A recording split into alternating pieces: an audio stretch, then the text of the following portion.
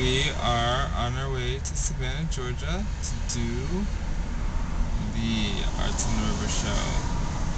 It's about noon. I'm supposed to be there at about noon. I've got like an hour and a half to go.